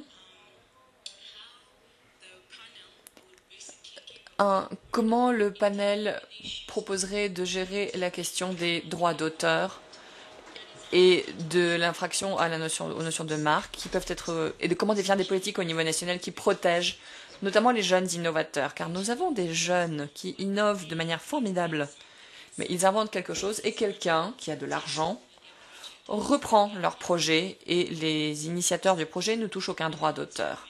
Nous n'en tirons aucun bénéfice. Donc comment donc traiter cette question? Autre question, la deuxième donc, c'est le financement pour ces jeunes innovateurs. Comment gérer le problème des belles idées, des les esprits innovateurs, mais des poches vides. Comment répondre à ce problème? Troisième question. La question de la duplicité euh, chez certains gouvernements. Parfois, on arrive à mettre en place un système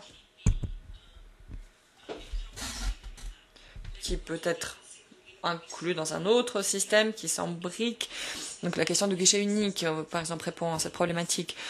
Par exemple, les gouvernements centraux, d'autres institutions peuvent tous traiter d'un certain nombre de questions. Comment les gouvernements peuvent se rassembler pour faciliter les paiements? Comment faire en sorte Comment répondre à ce problème de la duplication? Nous voyons parfois apparaître des systèmes et nous savons par avance qu'ils ne fonctionneront pas.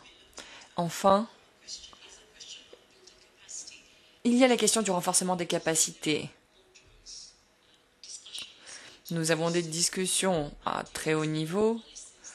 Comment transformer ces discussions en idées concrètes, pratiques, qui atteindront les gens qui font du commerce à l'autre bout de la chaîne? Une personne qui vend tant de cagettes de tomates, comment va-t-elle faire dans son village pour faire du commerce? Comment protéger ces personnes de l'exploitation, notamment au niveau des prix? Et comment faire pour inclure ces personnes? Nous évoquions l'inclusivité, notamment à l'égard des femmes. Des gens qui font du commerce au niveau le plus simple. Comment leur faire comprendre ce qu'est l'e-commerce? Je voudrais vous encourager, ceux qui sont au fond de la salle, à se montrer actifs également. Euh, posons une question chacun, s'il vous plaît, pour pouvoir faire participer davantage de personnes. La personne qui agite sa main Madame, merci. Je m'appelle Jérine Giroga, qui vient de l'organisation Beautiful Minds. Merci beaucoup de me donner la parole. Je n'ai pas entendu évoquer la question de la santé mentale, qui constitue pourtant une crise assez importante en Afrique, notamment chez les jeunes.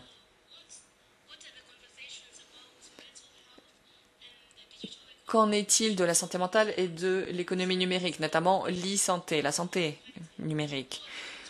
Comment impliquer les personnes les plus touchées dans les progrès accomplis dans ce domaine numérique, notamment en matière de santé? Merci beaucoup. Monsieur, au fond, au, dans la partie avant de la salle Permettez-moi de vous remercier, de remercier les organisateurs et la CNUSED également d'avoir rendu possible ces échanges. J'aurais une question assez simple que je voudrais adresser au centre de recherche sur le monde des affaires. Quand nous évoquons le commerce numérique en Afrique et au niveau mondial, et les différentes manières selon lesquelles peut se faire, le commerce électronique, on évoquait une croissance de 12% par an. La question est donc, l'Afrique et le monde des affaires africain, où se situe-t-il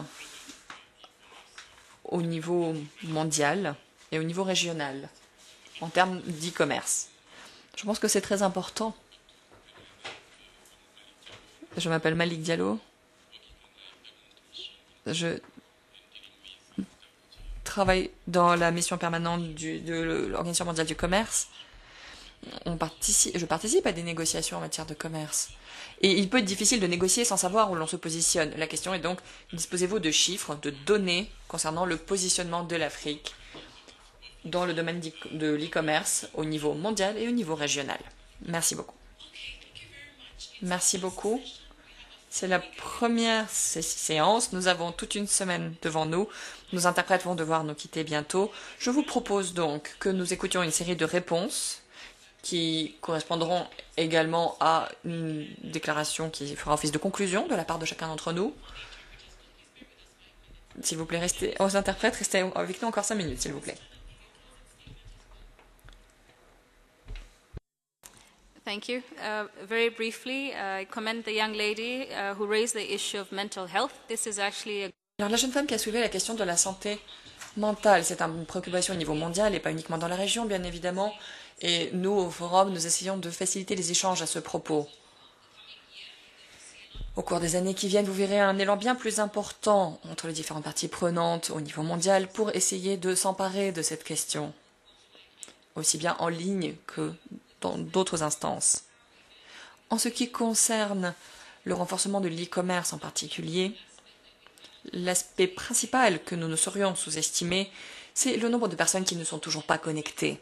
Et à moins, de, à moins que nous réfléchissions aux questions les plus simples, les plus fondamentales, nous aurons du mal à connecter ces personnes. Il y a par exemple des couvertures 4G qui peuvent exister, mais sans contenu qui soit utile pour les utilisateurs. Ce sont ce que nous appelons des tuyauteries vides. Il faut également des compétences pour pouvoir accéder à ces contenus. Et enfin, il y a également la question de l'énergie qui se rattache à tout cela. Donc il nous faut nous intéresser au point faible des infrastructures et continuer à travailler à l'accès à l'énergie. Seulement 60% d'accès en Afrique. 4 milliards de personnes au monde sont toujours mal ou pas du tout connectés, nous essayons de nous demander ce que nous pouvons faire de plus collectivement pour régler la question de ces failles. Merci beaucoup Elsie. Dylan, en une minute, vous pouvez répondre à une question et conclure.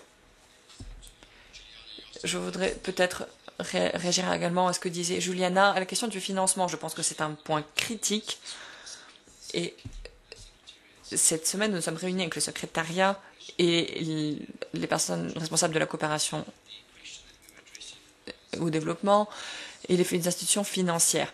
Comment aller progresser dans l'ère du numérique pour ces institutions financières? Au Forum pour l'investissement mondial à Genève également, cela a été, pu être évoqué. Ce à quoi nous appelons, c'est un recalibrage de la relation entre la finance, ce qu'on appelle le capital, et ce qu'on appelle l'opportunité. Il y a donc deux parties dans cette équation. D'une part, une manière traditionnelle de définir les opportunités. Il faut modifier cette définition. Les données auxquelles nous pouvons accéder, par exemple, il y avait des plans sur 5 à 10 ans. Il nous faut choisir une, un échantillon temporel plus petit pour pouvoir mieux gérer ces questions. D'autre part, notamment sur le continent africain en particulier, et nous travaillons avec beaucoup d'entrepreneurs africains. Il nous faut basculer, il nous faut changer de mentalité. Il faut sortir d'un modèle reposant sur un financement par des donateurs, des, pourvoyeurs de fonds, à un modèle business, c'est-à-dire de, de rentabilité. Il faut vraiment repenser ces deux parties de l'équation, cela concerne aussi bien le secteur privé que le secteur public. Pour conclure, je suis parfaitement d'accord avec l'idée qu'il est nécessaire de renforcer la connexion des populations, connectivité.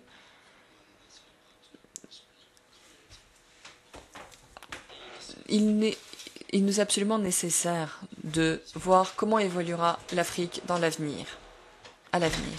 Et il nous faut proposer des pistes pour améliorer cette évolution. Merci beaucoup. Je vais combiner deux personnes. Alistair et... Pardon si j'écorche votre nom, Ambora. Je pense qu'en fin de compte, il nous faut des centres qui pourront nous permettre de mieux comprendre cette complexité, comme cette montre, effectivement, très compliquée, avec ses engrenages. Je ne saurais insister suffisamment sur l'importance de centres qui permettront des discussions et des analyses. Deuxièmement, dans ces centres, il nous faut les données, rassembler ces données et réfléchir aux différents produits disponibles en Afrique, sur les, les législations en matière de frais douaniers, etc., d'impôts, le vrai biscuit dans cette question, c'est les produits, la demande, les services. Et quelles sont les données qui correspondent à cela? Comment nous pouvons payer pour ces transactions qui ont lieu? Et pour cela, il faut des centres d'analyse de données qui permettent d'analyser les modèles de rentabilité. Si nous empruntons la voie de l'e-commerce, il nous faut réagir rapidement en termes de protection des droits de la propriété intellectuelle. Si nous, nous rassemblons, si nous travaillons tous ensemble en Afrique, nous pourrons défendre la propriété intellectuelle. Si nous ne le faisons pas, le Kenya ne sera jamais un bon compétiteur pour le Japon, l'Asie ou les États-Unis d'Amérique et l'Europe en matière de défense de la propriété intellectuelle. C'est trop cher pour nos gouvernements défendre la propriété intellectuelle. Mais une fois que nous aurons pu, je l'espère, combiner les différentes forces qui existent en Afrique, nous pourrons protéger les droits et ensuite nous pourrons communiquer à ce propos. Et cela serait fantastique. Et en résumé, donc dernier point, la communication, encore la communication. Jusqu'à chaque en, descendant au niveau de chaque micro-entreprise en Afrique concernant les possibilités de commerce sur notre continent, à l'échelle du continent. Ne restons pas au niveau des politiques, des discussions de haut niveau. Descendons au plus bas. Merci beaucoup. Merci. Je vais évoquer les trois questions. La duplicité, le renforcement des capacités notamment, et la propriété intellectuelle notamment. Premier élément de réponse concernant la duplication et la propriété intellectuelle nous avons rassemblé l'ensemble des institutions qui travaillent à la facilitation des échanges commerciaux et le comité de facilitation du commerce au niveau national. Cela correspond à 63 institutions chez nous. Il y a des sous-comités et nous faisons en sorte de nous assurer qu'il n'y ait pas de recoupement. Nous essayons de nous concentrer sur les synergies et la coordination. Si j'avais davantage de temps, je vous parlerai des détails. Cela fonctionne bien, en tout cas, chez nous. Vous verrez, même en termes de facilitation du commerce et des statistiques, vous pourrez constater qu'il y a vraiment une amélioration. En ce qui concerne la propriété intellectuelle, nous avons une approche multipartite à multiples institutions. Nous ne nous concentrons pas uniquement sur la propriété intellectuelle, mais également sur le commerce illicite. Il y a des règles de commerce définies au niveau international. Nous nous concentrons sur la question des normes, le bureau kenyan des normes. Nous, nous avons des institutions qui travaillent à la contrefaçon. Et ensuite, l'autorité responsable des revenus qui s'occupe d'impôts et d'évasion fiscale. Si tout cela est associé à un commerce illicite, nous essayons donc voilà d'associer ces questions également à la question de la contrefaçon. Donc il y a une plateforme multipartite qui gère l'ensemble des questions. Et au cours des cinq derniers mois, par exemple, nous avons mené une campagne très importante à destination des entreprises notamment, et les entreprises ont vu une véritable amélioration dans leur activité, notamment grâce à cette lutte contre le commerce illicite. Enfin, en ce qui concerne le renforcement des capacités, nous avons également mis en place un projet qui est en cours en ce moment. nous voulons faire un, projet qui consiste à faire en sorte que les, fermes, les agriculteurs, par exemple, puissent être directement connectés aux acheteurs, aux consommateurs. Nous essayons de supprimer les intermédiaires. Nous essayons de mettre ça en place sur l'ensemble des marchés, les marchés dans les villages, par exemple. Vous avez un panneau qui présente les informations. Il y a les numéros de téléphone des différents agriculteurs. Vous pouvez voir, on peut voir les prix, par exemple, des agriculteurs. Et on peut aller au marché et savoir quel est l'état du marché, quels sont les prix. Et cela nous permet de progresser et nous, parviendra, nous, parviendrons grâce à cela à connaître le succès. En conclusion, je me voudrais me permettre un commentaire portant sur les, la propriété intellectuelle. Je pense qu'il y a toujours beaucoup de travail à faire. Nous, il nous faut une politique de protection plus agressive pour protéger les jeunes en particulier. Je pense que les gouvernements doivent financer le coût des brevets, d'enregistrement des brevets, et il nous faut également davantage d'éducation libre et accessible à tous en la matière. Outre cela, je pense que les questions de l'accessibilité restent un problème important en Afrique subsaharienne. J'ai peut-être une opinion un peu différente par rapport à celle d'Alison, donc en ce qui concerne le financement par les gouvernements de, de l'achat d'appareils mobiles. Les réseaux 3G, 4G ont des applications financières. Ce coût peut être répercuté sur le consommateur et peut-être qu'il serait intelligent d'encourager l'utilisation des smartphones qui permettent non seulement d'accéder au réseau notamment Internet. Je pense que le Ghana est un ex excellent exemple de politique de ce type. Les gouvernements doivent également, et là je suis d'accord avec Alison, les gouvernements doivent arrêter d'investir du côté de, de l'achat de biens. Il faut, pardon, du côté de l'offre, il faut agir sur la demande. Les contenus les plus pertinents qui existent en ligne ne sont pertinents que pour les personnes qui sont dans cette salle. Si nous voulons que les gens fassent davantage de choses sur Internet, eh bien, il faut davantage de contenu qui soit pertinent pour l'ensemble des consommateurs et qui ait du sens pour ces personnes. Merci beaucoup. Merci beaucoup, Madame la Présidente. J'ai deux questions. L'une porte sur les droits d'auteur. Je parlerai plus généralement de la question des questions juridiques liées au TIC en Afrique. Je me demandais par exemple pourquoi en Europe, il est possible, on entend de temps en temps la Commission européenne a investi 2, milli 2 milliards d'impôts dans Google pour protéger les consommateurs. Je n'ai jamais entendu aucune mesure, parler d'aucune mesure de ce type en Afrique. Pourquoi ces règles? Ces règles sont-elles respectées en Afrique? Je pense qu'il nous faut en Afrique faire preuve de leadership. En ce qui concerne la zone de libre-échange au niveau du continent, c'est évidemment une bonne chose, mais j'aimerais beaucoup qu'il qu existe en Afrique un service, un département qui se préoccupe des personnes qui participent à l'économie, des entreprises,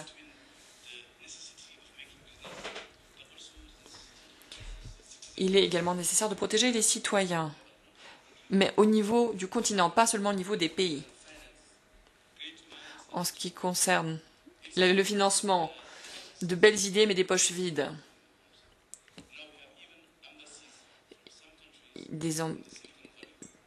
certains de nos pays sont même représentés dans des Silicon Valley où ils ont des ambassades. Nous sommes présents dans le monde entier. Nous avons des ambassadeurs. Il nous faut donc trouver un bon équilibre entre l'argent, l'argent généré par le secteur des TIC, ce qui est normal si on participe à l'économie, mais également investir dans l'innovation, investir dans la création de nouveaux marchés, investir dans le potentiel des idées, des cerveaux, permettre la création de nouvelles idées. Il y a nous disposons d'excellentes applications, par exemple, d'excellents projets. Il faut les soutenir. On dit qu'il n'y a pas d'argent, si, il y en a, mais il faut trouver un bon équilibre dans sa répartition, notamment en aidant le secteur privé. Merci beaucoup. Um,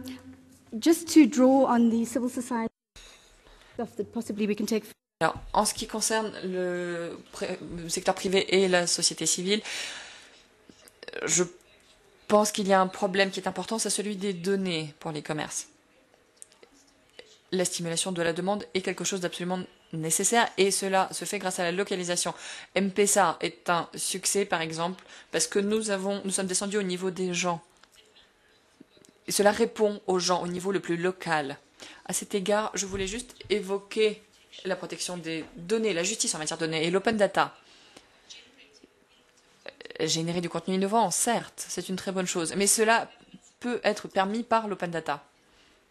Mais en réalité, cela n'existe pas vraiment chez nous. Prendre des données sur un site pour créer une, application de transport, par exemple, ce n'est pas possible. Il nous faut vraiment nous intéresser à cette question. Donc la protection des données et l'open data, il nous faut nous y intéresser également les données en matière d'innovation. Donc la question des impôts prélevés sur les plateformes est donc un problème. Il est difficile de, créer une imposition des plateformes qui fonctionne au niveau mondial. Il faut donc exiger que les données que nous transmettons nous reviennent au niveau national et que nous puissions en faire usage. Il ne s'agit pas forcément de données de concurrentielles, sensibles. Ça peut être des données qui remontent à trois mois, à six mois. Cela peut être de la planification de transport, de réseau mobile, Google, toutes sortes d'applications liées à l'e-commerce. Il nous faut songer à la valeur, au prix de ces données. Il est absolument nécessaire à cet égard également qu'il y ait une collaboration entre les gouvernements et les secteurs privés qui disposent souvent de l'expertise dans ce domaine, en ce qui concerne la sécurité, par exemple, la protection des données, et enfin la société civile dans de nombreux pays. Car les, cap les capacités existent bel et bien. Donc au niveau national, il nous faut développer tout cela. Il existe de véritables solutions qui pourraient ensuite qui pourraient permettre une harmonisation au niveau régional et continental. Merci beaucoup. Je voudrais rebondir sur le dernier point qu'évoquait Alison, l'harmonisation au niveau continental et régional. Le défi auquel nous sommes confrontés en Afrique, c'est que nous avons beaucoup de bonnes idées, nous voulons faire beaucoup de choses, mais peu d'argent. Donc, comment nous montrer efficaces? Comment travailler ensemble pour créer les plateformes, les instances qui nous permettent de mettre tout cela en place? Lorsque vous parlez de la propriété intellectuelle et de sa protection, eh bien, il nous faut des politiques et des stratégies. Et cette stratégie doit être mise en œuvre de manière à permettre aux personnes qui sont au plus près du terrain d'enregistrer leur brevet leurs idées au coût le plus réduit possible. Et plus nous pourrons étendre ces solutions au niveau continental, plus sera facile pour nos jeunes entrepreneurs qui sont brillants et qui commencent à travailler et qui ont de très bonnes idées, plus il sera facile de leur permettre d'accéder à ces plateformes qui permettront non seulement l'accès à leurs produits au niveau national, mais au niveau régional et au niveau continental. Qu'est-ce que cela implique? C'est une généralisation de ces pratiques à l'ensemble de ces niveaux. Lorsque l'on parle de la facilitation du commerce, par exemple, eh bien c'est une chose que de commander un produit physique concret. Et une autre, c'est tout autre chose que de lui faire traverser beaucoup de frontières, par exemple, aussi rapidement que possible. Vous savez que si vous commandez, peut-être qu'il vous faudra une semaine pour obtenir votre commande. Quand tout cela est prévisible, là on parle du meilleur usage que l'on pourra faire de telle plateforme. La question de l'harmonisation, la formulation des stratégies, la mise en œuvre des stratégies entre différents groupes d'acteurs. On a parlé des gouvernements, on a parlé de la société civile, du secteur privé. Nous avons également évoqué le monde académique. Il nous faut faire en sorte qu'il y, ait une synergie efficace entre ces différents acteurs pour que nous puissions parvenir aux résultats qui nous permettront de nous concentrer sur ce que nous voulons, sur les chemins, les voies que nous voulons emprunter pour y parvenir. Peut-être qu'il faut commencer par agir au niveau régional. Une discussion avec, à l'échelle de l'Union africaine est quelque chose de très important, c'est très trop massif. Mais si on commence au niveau régional, ensuite nous pourrons peu à peu intégrer ces différentes stratégies, ces différentes plateformes, et nous pourrons sans doute parvenir à nos fins plus rapidement. Et je pense que la pression, et c'est là que vous intervenez, la pression que la société civile peut exercer sur les gouvernements pour provoquer ces changements, eh bien, cette pression pourra provoquer ces changements plutôt tôt que tard. Merci beaucoup. Merci beaucoup. Anna, vous avez très bien résumé ce qui était nécessaire de faire pour avancer. Je voudrais résumer les idées majeures qui sont ressorties au cours de cette discussion. J'en ai pour une toute petite minute. Nous devrons ensuite nous arrêter. Le point de départ, c'est qu'il y a cette chance, cette opportunité pour l'Afrique de s'impliquer dans l'e-commerce, pour pouvoir et de pouvoir profiter de cet e-commerce pour développer le continent. L'absence de peur est une idée essentielle. Nous ne devons pas laisser la peur nous envahir. Madame Anna Tété nous a rappelé l'existence de marchés qui allaient être créés. Il nous faut des plateformes, comme des plateformes en ligne, pour nous aider à échanger des biens sur l'ensemble du continent. Il y a donc une, cette grande promesse. Il y a des défis, des problèmes d'infrastructure, de connaissances, compétences, des capitaux. Mais comme je viens de le dire, il ne faut pas laisser la peur nous envahir. Il nous faut agir de manière stratégique. Nous avons évoqué la nécessité de créer des centres d'excellence qui portent sur l'ensemble des points étudiés par les différentes politiques, définis par les différentes politiques, l'analyse de données notamment. Et cela nous permettra de mieux comprendre les promesses du e-commerce et de les réaliser. Les femmes, il ne faut pas les oublier, il faut des interventions ciblées pour impliquer les femmes. Il est nécessaire de descendre au niveau, le plus, au niveau du terrain, parler aux personnes qui ne comprennent pas forcément ce qui se passe plusieurs niveaux au-dessus, mais des personnes qui veulent simplement organiser des échanges commerciaux la protection de consommateurs, les, la protection juridique, les systèmes de paiement qui doivent exister sur l'ensemble du continent. Autre point important, le développement humain. En fin de compte, il s'agit de comprendre les défis auxquels sont confrontées les différentes personnes au moment où elles essayent d'échanger et de faire du e-commerce.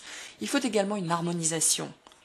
Profiter de l'élan qui existe au niveau au niveau du continent et il nous faut également redescendre au niveau national et local pour mieux profiter des différents élans qui existent à différentes échelles. En fin de compte, la pression qu'il faut exercer, la société doit exercer cette pression pour que les politiques soient modifiées, pour que le renforcement des capacités ait lieu.